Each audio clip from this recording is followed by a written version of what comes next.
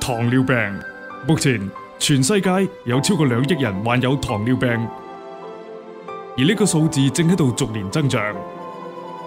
糖尿病系因胰脏产生不足够嘅胰岛素，或个别受体对产生嘅胰岛素有不适当反应而导致嘅结果。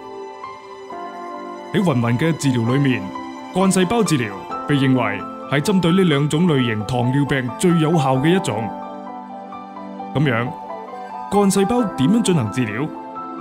喺治疗嘅时候，干细胞会迁移到受影响嘅部分，替换受损嘅细胞，刺激人体本身嘅干细胞。